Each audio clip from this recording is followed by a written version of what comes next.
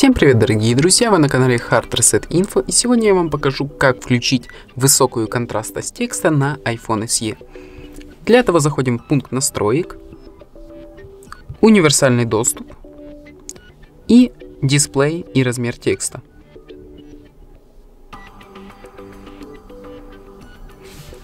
Потом ставим галочку возле пункта увеличения контраста.